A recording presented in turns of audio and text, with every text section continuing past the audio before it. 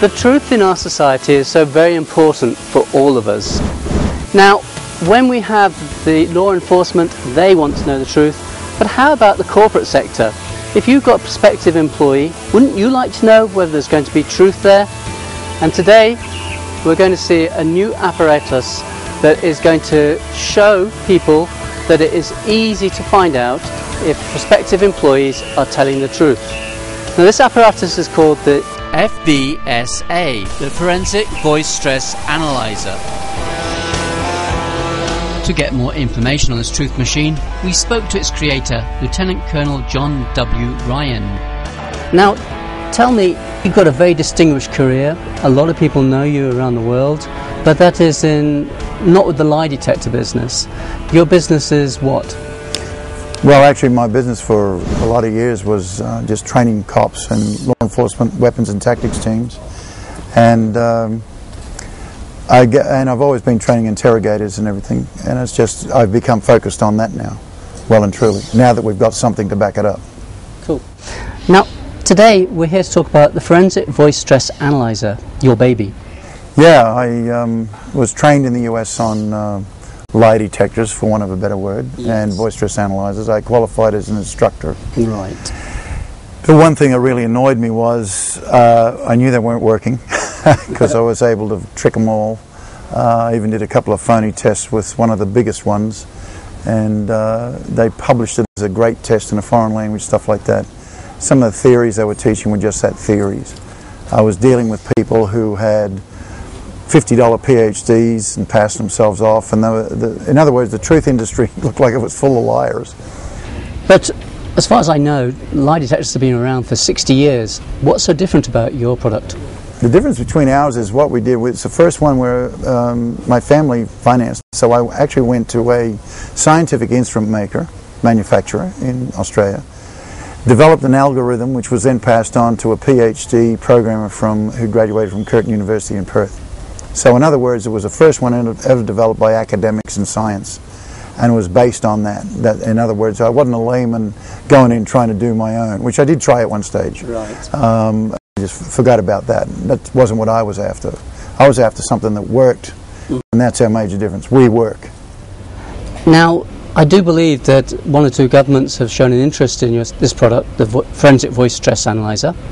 Uh, but you say it can also be adapted for the commercial market. We actually have several governments already using it, and even an anti-corruption commission, and that. And for we, what we did, we were approached by different people, um, and particularly a, an armored truck carrier, actually, right. cash and transit, have something that can be disappearing very rapidly, um, and they were susceptible. So we, we developed a civilian edition, exactly the same, but a civilian edition specifically for corporations. So whether you're a bank, insurance, uh, sporting bodies, we've done some tests for some sporting bodies, uh, things like that, we can actually uh, have a civilian one we now have available. I've heard that it doesn't only check your voice stress analyzation, does it? It's also other parts of the body. Yeah, well, in actual fact, what we did, because we were using a science science people, uh, they uh, wanted us to concentrate on the vagus nerve innervation, which is the subconscious nervous system. And so, and it all produces frequency. Our pancreas, our kidneys, our heart. So when it comes out our mouth, it's not just the voice box, for want of a better word. It's not just just your tongue. That's the resonance cavity.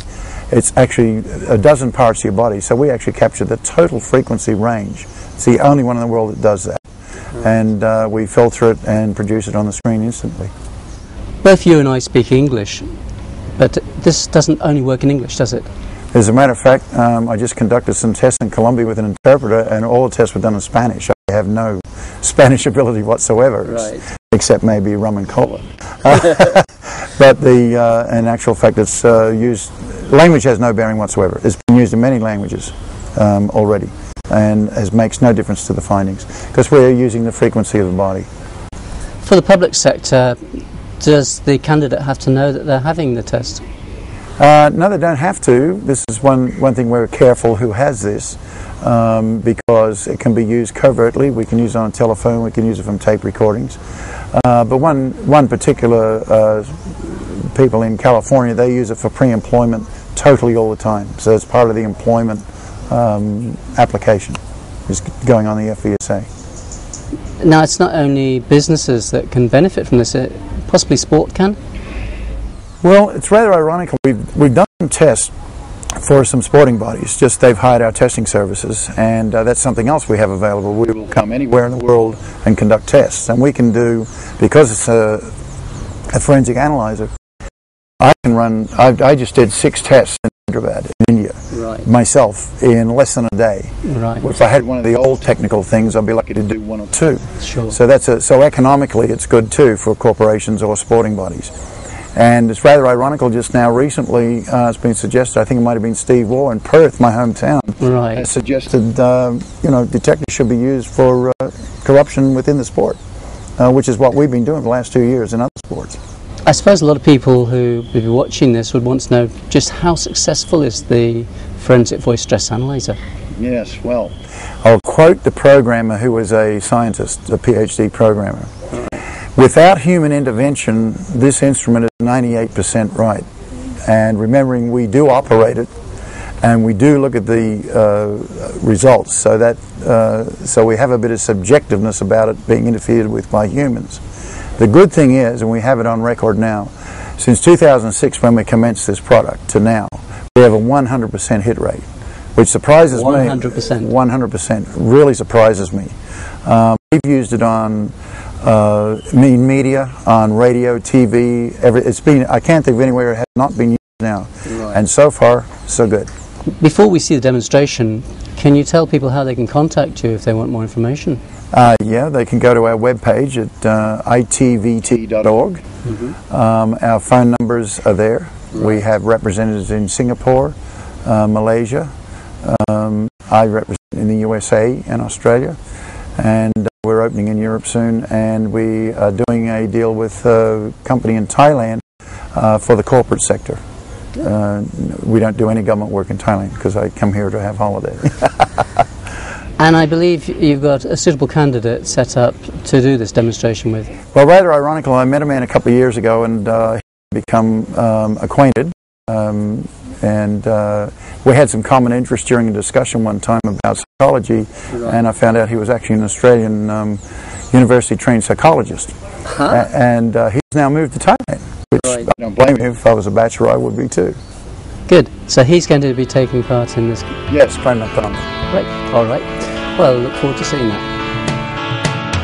The Forensic Voice Stress Analyzer is a simple yet effective program that is totally portable and produces 100% accurate results. The interviewee simply answers some basic questions and then any line of questioning can take place.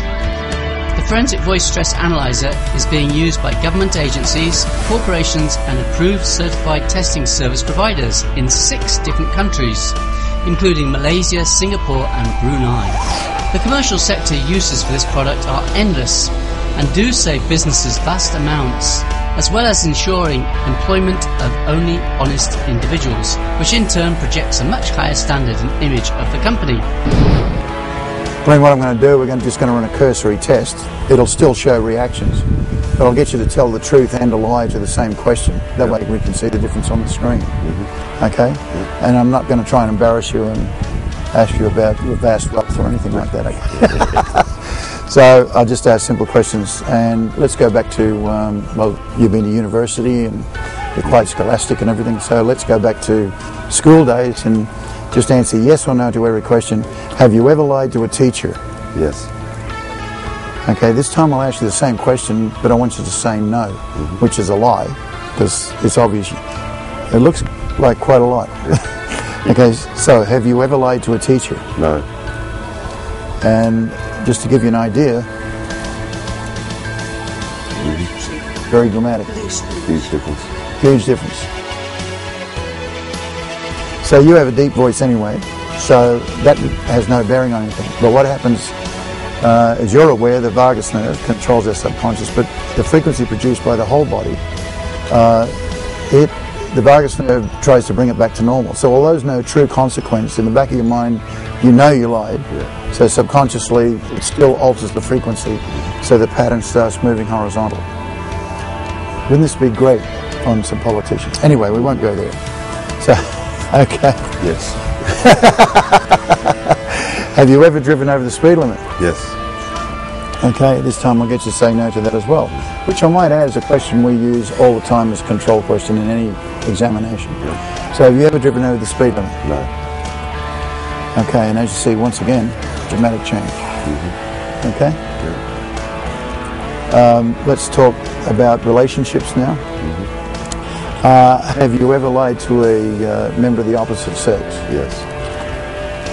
Okay, uh, we'll just do that one again because the yes was very prolonged. have you ever lied to a member of the opposite sex? No. Oh, as you can see, that's very dramatic. Huge. So I think you can see how simple it is. Yep. And because we're using frequency, it doesn't matter, It wouldn't matter what language you answer us in or anything like that.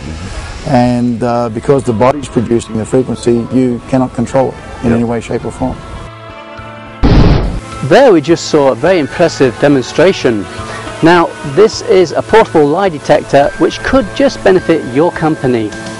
The way it can benefit your company is you can possibly find out about prospective employees and if they are not telling the truth.